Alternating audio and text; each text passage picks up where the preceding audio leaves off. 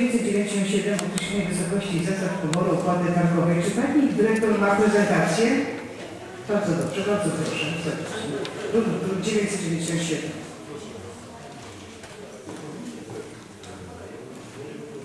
Pani Przewodnicząca, Szanowni Państwo, podobnie jak przy poprzednio wcześniej omawianych i podatku od nieruchomości, i podatku od środków transportowych, omawiając projekt uchwały w sprawie wysokości y, i zasad poboru opłaty targowej, również chciałabym się y, tutaj odnieść do polityki podatkowej.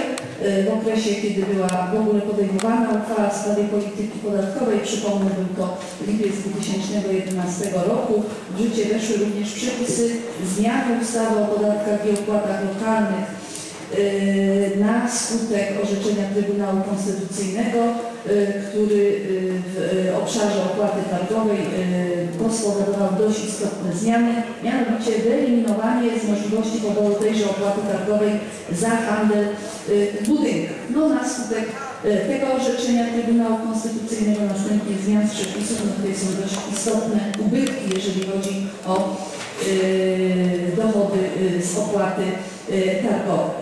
Y, Wiedząc o tej zmian- zmianie, a równocześnie wobec faktu, że uchwała w sprawie opłaty targowej nie była zmieniana od ponad 15 lat, stawki opłaty targowej, y, które są aktualnie pochodzą z roku 1997, y, przyjęto w polityce podatkowej następujące założenia, jeżeli chodzi o opłatę targową. Dokonanie w pierwszym etapie jakby dokonanie analizy skutków prawnych i finansowych zmian przepisów. Y, Następnie przeprowadzanie konsultacji ze środowiskami kupieckimi, to jest też takie y, środowiska bardzo wrażliwe jakby na działania i oddziaływania rynku.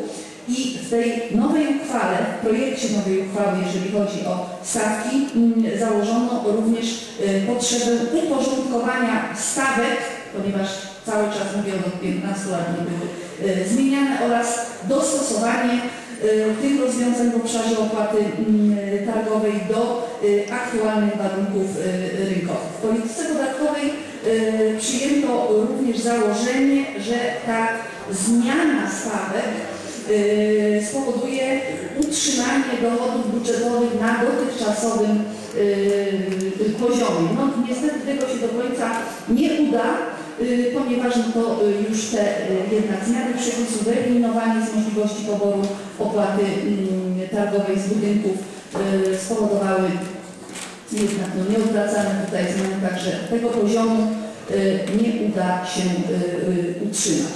Y, Już przystępując konkretnie do omawiania projektu uchwały według druku 997, chciałabym poinformować, że założenia do projektu uchwały konsultowane były ze środowiskami y, kupieckimi w okresie od miesiąca kwietnia do sierpnia 2012 roku. Tutaj na y, przynajmniej początkowym etapie towarzyszył nam Pan Radny Fajer. Bardzo dziękujemy za to. Y, Spotykaliśmy się w siedzibie kongregacji y, kupieckiej. W wyniku tych negocjacji utrzymano dotychczasowy podział targowisk w Krakowie na trzy grupy według ich lokalizacji, co przekłada się zarówno na y, ilość sprzedających, jak i kupujących na konkretnych y, targowiskach. Jeżeli chodzi o same stawki, y, to tutaj zacznę od tego. Maksymalna stawka dzienna, bo opłata targowa to jest stawka dzienna, maksymalna stawka dzienna według obwieszczenia ministra finansów może wynosić 728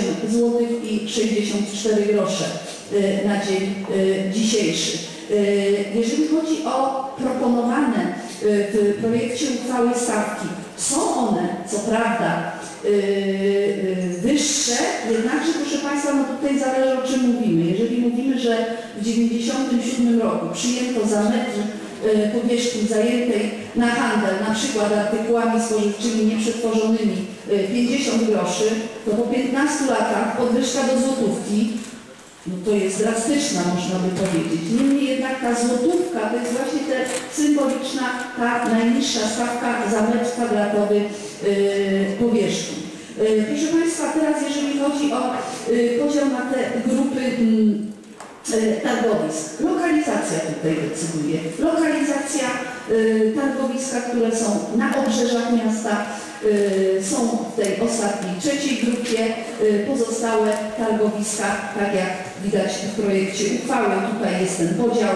E, Pierwsza grupa to jest hala targowa, stary skleparz, indywidualne miejsca targowe prowadzone za zgodą właściciela, zarządcy terenu, rynku głównym, małym rynku, na plantach y, i w ulicach w obrębie y, plan. W drugiej grupie nowy kleparz. Tu proszę Państwa y, zmiana y, targowisko nowy kleparz na wniosek tegoż targowiska z pierwszej grupy do y, drugiej zostało przemieszczone, ale tam administrator, zarządca tego targowiska y, podniósł bardzo ważne y, argumenty. Tam istotna zmiana też tej geografii GOW-u y, targowiska nastąpiła, mianowicie y, likwidacja tam części przystanków y, autobusowych, tramwajowych, również przystanek ten przesiadkowy, który był w okolicach na początku ulicy Kątnickiej, że nie ma tego handlu w tym terenie, no to stąd ten targowisko Nowy Kleparz przeniesione zostało do drugiej grupy. I trzecia grupa, no to są te targowiska, które są na y, terytoriach miasta. Generalnie te stawki, y, jeżeli chodzi, te stawki były y, wynegocjowane, uzgodnione z przedstawicielami i grupa pierwsza, druga, w zasadzie wszystkie uzyskały akceptację. Niemniej jednak, tutaj od razu niejako uprzedzająco powiem, już po y, uruchomieniu tutaj procedury uchwałodawczej, czyli podpisaniu projektu uchwały przez pana y, prezydenta, y, od przedstawicieli z tej grupy trzeciej targowisk wpłynęło pismo do pana przewodniczącego Fajoła, wpłynęło również to pismo do pana pełnomocnika Okońskiego, do wiadomości również do Wydziału Podatków.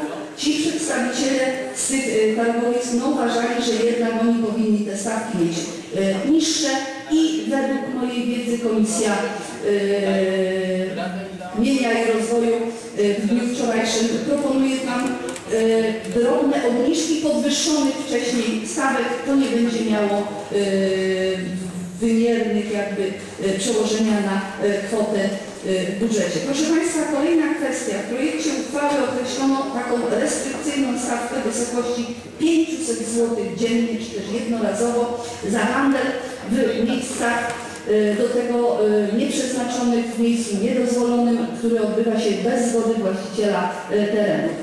Ten problem handlu w miejscach niedozwolonych to jest problem zarówno zagrożeń wręcz w ruchu drogowym, czy bezpośrednio miejscach przyległych do pasa drogowego, także w ocenie mm, projektodawców tutaj ta restrykcyjna mm, stawka powinna zniechęcić do handlu w tych miejscach niedozwolonych, a wręcz spowodować, żeby ci, którzy tam handlują za mniejsze opłaty mogli wejść i handlować na y, targowiskach, miejscach do tego y, przeznaczonych. Y, mm, Również, y, y, proszę Państwa, mm, y, to jest takie działanie na przyszłość. y, y, Już po podjęciu uchwały uzgodnione zostało z przedstawicielami tych y, targowisk, że y, żeby tutaj uniknąć jakich, ponieważ y, pobór tej opłaty targowej jest okresowo kontrolowany przez przedstawicieli urzędu, tutaj wspólne kontrole z Wydziału Podatków i Opłat i z Wydziału Spraw Administracyjnych na tych targowiskach no, wykazują y, aktualnie pewne nieprawidłowości w poborze tej opłaty targowej. Jeżeli Państwo podejmiecie tą uchwałę, to y, dla poborców, dla inkasentów tej opłaty przeprowadzone zostanie y, szkolenie, to zostało zaakceptowane, także nie, żeby nie było tutaj problemu i wątpliwości, jak tą opłatę prawidłowo y, należy pobierać. No i szczegóły y, oczywiście tutaj w załącznikach do y, y, y, tej y, uchwały, również wykaz inkasentów, imienny wykaz inkasentów, to tak musi być zgodnie z obowiązującymi przepisami. Porada wyznacza inkasentów w oparciu o to inkasenci otrzymują wynagrodzenie, wynagrodzenie w wysokości 20% y, y, z zebranych kwot. Y, Planowany wpływ do budżetu y, roku y, założenia do planu 2013 to jest 2 miliony 800. Na tym też mniej więcej poziomie przewidywane jest wykonanie w roku y, 2012. Dziękuję bardzo. Dziękuję bardzo. Czy są jakieś opinie komisji? Nie ma klubów, w imieniu klubów? Nie ma. Też otwieram dyskusję. Bardzo proszę Pan Pajer. Y, Opinia klubu, przepraszam, przepraszam, jest opinia klubu.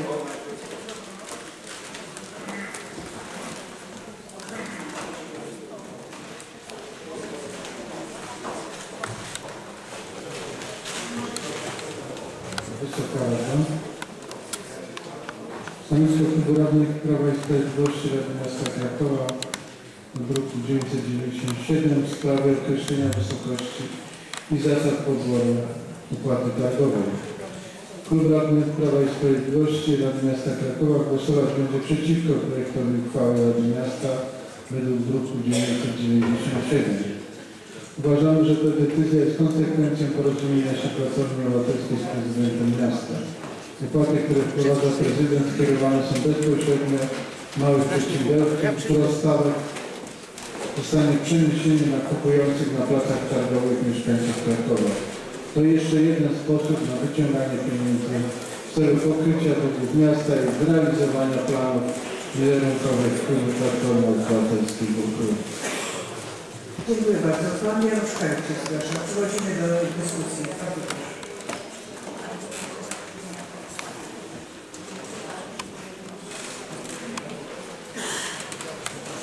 Pani Przewodnicząca, Panie Skarbniku, Szanowni Państwo Radni. Y, Chciałbym poinformować, że Komisja i Przedsiębiorczości wczoraj na posiedzeniu y, przyjęła stanowisko, y, które y, jest stanowiskiem od- odnośnie trzeciej grupy, to znaczy najmniejszych placów targowych, które się znajdują y, w mieście Krakowie. Chodziło nam o unaocznienie i o tym już wspominała Pani y, dyrektor y, Cecylia Wołow, bo nie ukrywam, że ta y, sprawa była konsultowana i Pani dyrektor również była wczoraj na posiedzeniu komisji. Y, I jak gdyby biorąc pod uwagę wysokość podwyżki, to znaczy 100% dla tych najmniejszych klasów, to znaczy przeczytam jakie to są. Y, W Mogile na Bulwarze, Piast, y, w Borku, na Kozłówku, na Placu Nowym, na Placu Rydla, Rynku Dębickim, Wilga i Krocze- Kwiaciarki Krakowskie. To są te najmniejsze place, które zwróciły się e, z prośbą o to, aby, obniż, aby podwyżka w grupie trzeciej była niższa niż ta, którą e, wstępnie e, zaproponowało miasto. I przychylając się do tego właśnie, do tej prośby, komisja zaproponowała, żeby obniżyć stawki o 1 zł i tak dla przykładu przeczytam Państwu na przykład dla niektórych artykułów spożywczych i kwiatów z 2 zł do 1 zł za metr y, kwadratowy, y, od, y, od, od niektórych też artykułów w okresie zimowym z- z 3 zł na 2 zł, od budynków do 15 metrów kwadratowych powierzchni 4 dnia. Czy Państwo to macie, bo to jest załącznik do tej propozycji, ja tylko dla przykładu powiedziałem, że mając na względzie y, to pismo, mając na względzie ochronę y, tych najmniejszych placów y, i ochrona polegałaby na tym, żeby oni rzeczywiście mogli tam handlować, żeby nie zabić ten handel, bo jest rzeczą wiadomą, że jeżeli są wyższe koszty, to uciekają klienci do innych miejsc. Y, Proponujemy Państwu y, przyjęcie y, tego właśnie załącznika, tej poprawki, którą przygotowaliśmy wczoraj na Komisji Mienia i skonsultowaliśmy zarówno z pełnomocnikiem do spraw przedsiębiorczości, jak i z Panią Dyrektor Cecylią Wołow i, pani, i wczoraj Komisja przyjęła jednogłośnie tą poprawkę. Dziękuję bardzo.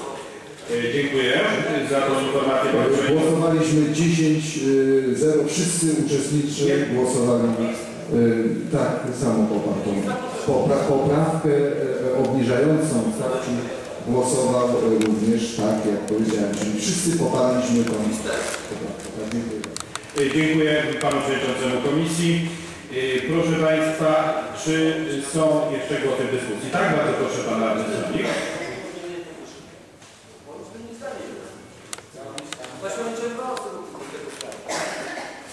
Bardzo proszę o zachowanie spokoju. Proszę uprzejmie Pan Radny.